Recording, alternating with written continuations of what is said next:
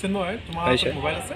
আছে ছাৰ এইটো কি তোমাৰ স্মাৰ্টফোন নে normal mobile smartphone sir smartphone right হয় ছাৰ তুমি চোৱা তুমি যদি তোমাৰ যে স্মাৰ্টফোনটো জাষ্ট কেমেৰাটো অন কৰি দিয়া অন কৰিলে তুমি যদি তাত এটা পাঁচ মিনিটৰ ভিডিঅ' বনোৱা আৰু ছাৰ। বছৰত three hundred sixty five days আছে ৰাইট হয়, sir. Three hundred sixty five ডেজত three hundred sixty five videos পাঁচ পাঁচ মিনিটৰ ভিডিঅ' এটা বনোৱা তুমি বনাই তুমি ইউটিউবত তুমি আপলোড কৰি দিয়া তোমাৰ হয়। কিবা যায়?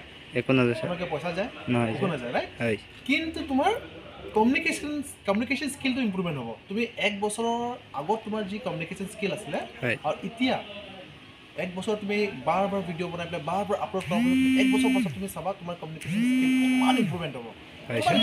তুমি ইউটিউবত ছাকচেছ হোৱা নোহোৱা এইটো বেলেগ কথা। তোমাৰ যে কমিউনিকেশ্যন স্কিলটো বহুত ইম্প্ৰুভমেণ্ট হ'ব। ৰাইট